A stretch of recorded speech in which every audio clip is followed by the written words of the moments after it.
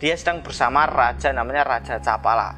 Raja Capala. Nah, diceritakan uh, di situ Prabu Cingkoro uh, Cingkoro Dewa tadi uh, dia di situ uh, dikisahkan di itu dituliskan bahwasanya Prabu Cingkoro Dewa tadi mengalami uh, namanya penyimpangan, penyimpangan di dalam kehidupan penyimpangan kehidupannya dia lebih menyukai laki-laki untuk dijadikan selirnya daripada uh, berhubungan dengan seorang wanita pada saat itu.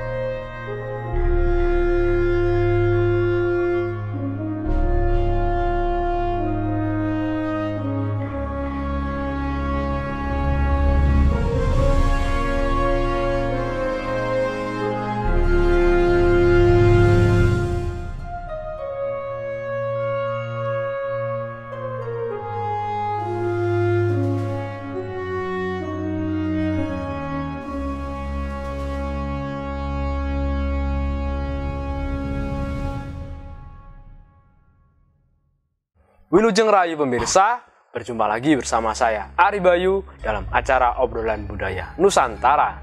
Nah, kali ini kita masih membahas tentang cerita, tokoh maupun lakon-lakon yang ada di dalam pewayangan, khususnya wayang kulit Jawa. Mungkin pemirsa penasaran, kali ini kita mau membahas tentang apa? Langsung saja kita tanyakan ke Mas Gurit. Selamat malam Mas Gurit. Selamat malam Mas Bayu. Nah, sebelumnya Mas Gurit pernah bercerita Ya, tentang Prabu Cingkorodewo yang menjadi raja di negara Medang Kamulyan. kemudian Kemudian ia berhasil membedah tiga negara, yaitu negara Gilingwesi, Ya. negara Purwocarito, dan negara Wiroto. ya benar sekali. Nah, lalu apakah masih ada, Mas, lakon yang menceritakan tentang tokoh Prabu Cingkorodewo tersebut? Oh iya Mas Bayu. Nah ah, setelah di beberapa episode kemarin kita ah, membahas tentang lakon-lakon tersebut dan juga di situ ah, saya juga mengatakan ada tokoh yang bernama Prabu Cingkorodewo. Iya. Dia merupakan keturunan dari Prabu Watu Gunung kemarin. Nah ah, diceritakan dia menjadi raja kemarin di negara Medang Kamulyan dan dia berhasil ah, menaklukkan tiga negara yang Mas Bayu sebutkan tadi, ah, Gilingwesi, Purwocarito dan Wiroto. dan ketiga negara tersebut menjadi andahane ra- ra- kerajaan kebawahan dari negara Medang Kamulyan, negara Cingkorodewo. Nah, selanjutnya eh, di Serat Pustaka saya eh, tentang Prabu Cingkorodewo itu sendiri di situ dituliskan ada sebuah balungan lakon yaitu Mukswane si Cingkorodewo atau kematian dari Prabu Cingkorodewo. Nah, eh, cerita tersebut dimulai ketika di negara Wirata di situ rajanya itu Prabu Basupati Ya. anak Basuroto kemarin beserta Paris Patih Sunggoto pada saat itu ya eh, diceritakan Prabu Basupati tadi telah memiliki anak memiliki anak laki-laki eh, yang bernama Raden Basumurti Raden Basumurti. Nah eh, suatu hari eh, diceritakan eh, anak tersebut anak tersebut sedang rewel atau menangis tiada hentinya. Karena eh, di situ is- istri dari Prabu Basupati yang bernama Dewi Indradi kemarin uh, dia tewas setelah melahirkan si Basumurti pada saat mati kunduran seperti itu Mas Bayu. Nah uh, menurut uh, wangsit dari para dewa sang raja tadi harus uh, mengangkat anak mengangkat anak anak saudara kandungnya yaitu Dewi Bromonegi yang telah menikah dengan Raden Parikenan kemarin Ya. yang pernah beberapa uh, di episode uh, Mahabharata di epos Mahabharata uh, saya pernah menceritakan tentang pernikahan si Parikenan. Nah, uh, di situ diceritakan uh, kebetulan bahwasanya di situ sang raja tadi sedang mendapat undangan datang ke negara Giling Besi karena negara tersebut sedang kedatangan musuh uh, rajanya para buaya Mas Bayu diceritakan yang bernama uh, Prabu Kolosrenggi yang berasal dari Kedung Jamuno pada saat itu. Nah, sang raja pada saat itu berangkat uh, ditemani beberapa senopati menuju negara Giling Besi pada saat itu. Oh, jadi saat itu Prabu Basupati ingin mengangkat anak dari Parikenan dan juga Dewi Bromonegi ya, Mas? Benar sekali seperti itu Mas Bayu. Nah, uh, selanjutnya di Bengawan Jamuno atau di Sungai Jamuno itu sendiri, nah uh, rajanya para buaya yang bernama Prabu uh, Kolos Renggi pada saat itu bersama Patih Bajul Lintang uh, dan Bajul Sengojo pada saat itu mengirimkan Ya. uh, surat tantangan kepada Raja Bromo Satopo Raja Negara karena uh, diceritakan sang raja dari para buaya tadi pernah dibuat malu pernah digawe wirang dan ia ingin membalaskan dendam akan hal itu Mas Bayu. Nah mereka lalu berangkat di situ Bajil eh, kalau Serenggi tadi membawa pasukan-pasukan yang berwujud hewan-hewan buas untuk menyerang negara Giling Wesi. Nah eh, sedangkan di tempat lain Raden Parekenan pada saat itu yang sedang eh, bertapa di hutan Perdopo dia sedang eh, mencari namanya ikan bader, ikan bader yang bersisi kencono atau bersisi emas pada saat itu. Untuk menuruti permintaan istrinya yang pada saat itu sedang ngidam tadi Bromo naik ngidam lagi. Ya, dia sedang hamil. Nah pada saat itu uh, diceritakan uh, anak dari Prabu Parikenan dan Bromonegi yang telah lahir bernama uh, Kano, bernama Kano dan Kaniraras yang masih kecil tadi ceritakan masih rewel. Karena uh, masih memiliki anak bayi tadi dan istrinya sudah hamil lagi. Nah, Raden Parikenan pada saat diceritakan dia bersemedi. Lalu dia didatangi oleh Bathara Bromo. Nah, Bathara Bromo pada saat itu memberikan anugerah keinginannya itu tadi dia memberikan ikan badar yang bersisik kencono tadi untuk uh, menuruti nyidam uh, Dewi Bromonegi istrinya Parikenan. Hmm, jadi sekarang si Parikenan berhasil mendapatkan ikan yang ia cari ya, Ya, ikan benar. badar ya mas. Iya, ikan badar yang bersisik kencono. Nah, terus apa yang ia lakukan mas setelah Nah, mendapatkan ikan tersebut? setelah mendapatkan ikan tersebut dia pun mengucapkan terima kasih lalu kembali uh, untuk menemui istrinya pada saat itu. nah, iya. sedangkan di negara Medang Kamulyan itu sendiri di situ ceritakan Prabu Cingkorodewo dia sedang bersama raja namanya Raja Capala. Raja Capala. Nah, diceritakan uh, di situ Prabu Cingkoro uh, Cingkorodewo tadi uh, dia di situ uh, dikisahkan di itu dituliskan bahwasanya Prabu Cingkorodewo tadi mengalami uh, namanya penyimpangan, penyimpangan di dalam kehidupan penyimpangan kehidupannya dia lebih menyukai laki-laki untuk dijadikan selirnya daripada uh, berhubungan dengan seorang wanita pada saat itu. Dia memiliki Gitu, ya bisa di, ya bisa dikatakan kelainan seks bisa dikatakan Hmm. seperti itu. Nah, sang raja pada saat ceritakan lalu mengutus kepada Patih Sukopo pada saat untuk memanggil namanya Bambang Kuswolo yang berada di sebuah pertapan untuk nantinya eh, dibawa ke Pasewakan ke negara Medang Kamulyan tadi untuk dijadikan selir. Nah, sedangkan sang raja Capala pada saat itu diutusnya untuk datang ke negara Giling Wesi untuk istilahnya uh, nyuwitake atau mengabdikan anak dari raja Capala tadi yang bernama Dewi Awanti pada saat itu. Nah, sang raja Capala pun akhirnya berangkat dan juga Patih uh, Sukopo tadi berangkat. Nah, di tengah perjalanan ini tadi eh, raja Capala tadi bertemu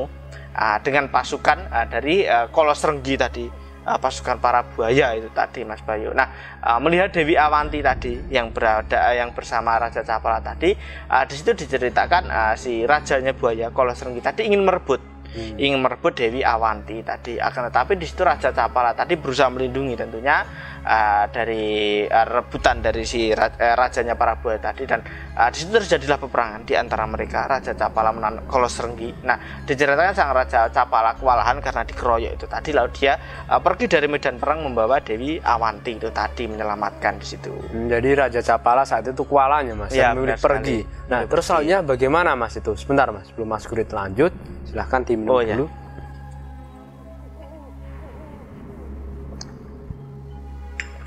Silahkan dilanjut mas. Nah, uh, selanjutnya Mas Bayu uh, di sebuah tempat lain namanya di Gunung Kondo. Di Gunung Kondo itu tadi di situ terdapat seorang resi. Iya. Resinya tadi bernama Resi Aswameda. Dia memiliki anak bernama uh, Bambang Kuswolo. Bambang Kuswolo itu tadi. Nah, suatu ketika uh, sang resi tadi menerima kedatangan sang wiku yang berasal dari tanah Bani Israel. Hmm. Uh, yang bernama Begawan Isaka datang beserta para empu. Di situ dituliskan ada empu Bratandang beserta para empu-empu yang lain. Banyak sekali yang datang ke Gunung Kondo itu tadi, Mas Bayu. Nah, terus apa mas tujuan sang empu tadi berkunjung ke Gunung Kondo? Nah, uh, di situ kedatangan para empu tadi diceritakan yang berasal dari tani, tanah Bani Israel tadi ternyata datangnya menemui uh, sang Resi Aswameda tadi uh, dia ingin memberikan uh, sebuah ajaran atau memberikan ilmu yang yaitu di situ dituliskan kawruh uh, Saskrito dan juga Aksoro Dewo kepada Resi Aswameda dan anaknya Bambang Kuswolo. iya. Nah, uh, singkat cerita uh, sang Resi Aswameda pun mau. Nah, singkat cerita akhirnya si Aswameda dan Bambang Kuswolo tadi telah selesai, telah selesai diajari tentang kedua uh, ilmu tadi dan telah mendapatkan ilmu itu tadi, telah menguasai ilmu tersebut. Nah, uh, lalu pada saat itu juga datanglah si Pati Sukopo utusannya si Jinggoro Dewo. Uh, dia datang mengatakan uh, mengatakan bahwasanya Bambang Kuswolo tadi diminta untuk datang ke negara Medang Kamulyan untuk dijadikan selir dari Prabu Cingkoro Dewa yang mengalami penyimpangan itu tadi. Nah, lalu diceritakan di situ Empu Isaka tentunya kaget, tidak punya seorang laki-laki kok menyukai laki-laki. Nah, di situ uh, diceritakan bahwasanya Prabu Cingkoro Dewa tadi uh, termasuk golongan orang yang sesat. Nah, Empu Isaka lalu bersedia mengajukan dirinya untuk nantinya bisa dijamah oleh si Prabu Cingkoro Dewo pada saat itu. Nah, uh, akan tetapi uh, si Isaka juga memiliki syarat jika sang raja Cingkoro Dewo tadi bisa menebak cangkriman atau tebakan yang ia akan ajukan nantinya pada saat itu. Nah, sang patih pun lalu mengatakan bahwasanya uh, dia bersedia. Hmm. Akhirnya Empu Isaka beserta brahmana lain dari Bani Israel di situ uh, dibawa diboyong ke negara Medang Kamulyan pada saat itu, Mas hmm, Bayu. Jadi saat itu malah Empu Isaka ya, Mas, yang menawarkan diri ya. menjadi selir si uh, Prabu, Prabu Cingkoro Dewa. Benar hmm. sekali. Nah, uh, singkat cerita pada saat itu Prabu Cingkoro Dewa tadi menerima kedatangan si Patih Sukopo tadi hmm. uh, membawa para brahmana dari tanah Bani Israel. Di situ Patih Sukopo mengatakan kesepakatan tadi yang diajukan uh, si uh, beberapa brahmana tadi. Nah, uh, di situ diceritakan sang raja mau menebak cangkriman yang akan dijadi uh, yang diajukan oleh si uh, brahmana Isaka itu tadi. Nah, terus apakah sang Prabu Cingkorodewa itu dapat menjawab dengan benar Mas cangkriman yang diajukan tadi? Nah, hmm. di situ diceritakan Prabu Cingkorodewa itu tadi kalah Mas Bayu. Hmm. Dia kalah, dia tidak bisa menebak cangkriman tadi, salah dia menebaknya. Nah, uh, di situ diceritakan dia marah dia marah sekali dan mengamuk. Hmm. mengamuk dan terjadilah peperangan di antara Prabu Cingkorodewo melawan si uh, para Brahmana dari Bani, tanah Bani Israel tadi. Nah lalu disingkat cerita si Prabu Cingkorodewo akhirnya uh, kalah tewas uh, di tangan uh, Prabu Isaka. Lalu diceritakan dia mukswa pada saat itu Mas Bayu. Oh jadi akhirnya Prabu Cingkorodewo mukswa ya Mas? Di tangan Brahmana Isaka. Ya benar hmm, sekali Mas yeah. Bayu. Nah selanjutnya pada saat para senopati senopati negara Medang Kamulyan pun akhirnya mengaku teluk karena rajanya telah kalah pada hmm. saat itu. Nah, karena rajanya telah mukswa, tidak ada di situ akhirnya para uh, uh, dengan persetujuan um, Brahmana Isaka yang mengalahkan si Cingkoro Dewa tadi akhirnya dijadikan raja di negara Medang Kamulyan bergelar Prabu Isaka. Hmm. Sedangkan patenya yaitu uh, Bambang Kuswolo itu tadi anaknya si Resi Aswameda seperti itu menjadi pate. Hmm, gitu ya Mas. Sekarang yang menjadi raja yaitu Brahmana Isaka ya. yang bergelar Prabu Isaka. Benar sekali di situ. Nah, sedangkan di tempat lain di negara Giling Besi kita menyambung uh, si uh, Prabu uh, Basupati tadi. Nah, Prabu uh, diceritakan di negara Giling Besi, Prabu Bromo Satopo tadi menerima kedatangan uh, Raja Negara Wirata yaitu ya. Prabu Basupati pada saat itu beserta Prabu Sri Mahawan. Sri Mahawan juga datang dari negara Purwacarita. Nah, pada saat itu diceritakan lalu datanglah si Raja Capala Raja Japala bersama Dewi Awanti datang mengatakan bahwasanya dia diutus oleh Raja Negara Medang Kamulyan untuk membawa si Dewi Awanti untuk disuwitake di negara tersebut. Dan di situ Prabu Basupati juga mengatakan tujuannya uh, datang ke negara Giling Wesi pada saat itu uh, dia ingin men, uh, mengangkat anak anak dari Parekenan dan Bromonegi yang bernama uh, Raden Kano pada saat itu Mas Bayu. Hmm, nah terus bagaimana respon dari Prabu Bromo Satopo saat itu Mas? Nah di situ hmm. Prabu Bromo Satopo tentunya sangatlah senang sangatlah senang istilahnya dipupuk harus masih dulu dewe. Nah, uh, akan tetapi pada saat itu Prabu Basupati malah uh, saking senangnya diberikan momongan lagi. Hmm diberikan omongan lagi dua anak putri yaitu Dewi Kesworo, Dewi Kesworo uh, anak dari Bromastuti dan juga Dewi Awanti tadi. Dewi itu Dewi Awanti anak Raja Capolo yang akan diswitakan ing Giling tadi oleh Raja Giling di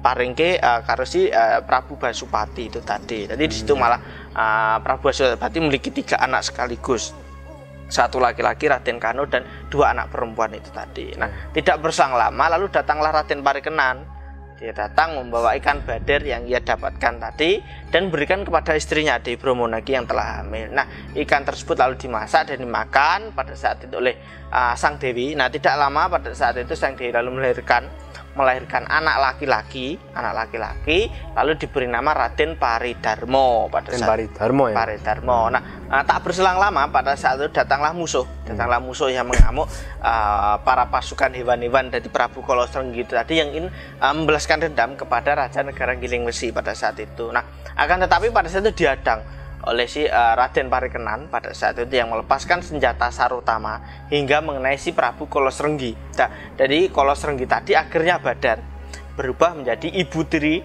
ibu tiri dari Parikenan yaitu Dewi Retno Rojo tadi. Rojo tadi yang pernah saya katakan dia adalah yang membuang si Parikenan dan juga uh, Dewi Srini kalau tidak salah kemarin lalu ditemukan oleh Begawan Rukmawati kemarin. Nah, uh, di situ akhirnya Bromo Satopo pun senang karena istrinya tadi telah kembali pada saat itu Mas Bayu. Nah, mungkin itu dulu Mas Bayu yang bisa sampaikan untuk pertemuan kali ini. Yeah. Uh, beberapa bahasan yang kita ketahui akhirnya di situ kita mengetahui bahwa Prabu Cingkoro Dewa akhirnya kalah melawan Brahmana dari tanah Israel uh, yang bernama Brahmana Isaka dan juga kita mengetahui bahwasanya kali ini uh, perikanan memiliki anak lagi yaitu Raden Paridarmo dan juga yeah. Badare Dewi Retno Rojo tadi itu tadi. Ya, terima kasih ya Mas Kurit atas kisahnya tadi. Nanti bisa lanjut lagi cerita di episode selanjutnya.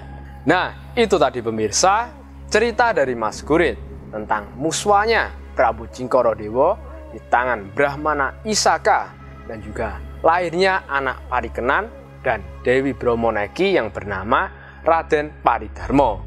Mudah-mudahan cerita yang Mas Kurit sampaikan tadi bisa menambah wawasan kita semuanya tentang pewayangan, khususnya wayang kulit Jawa.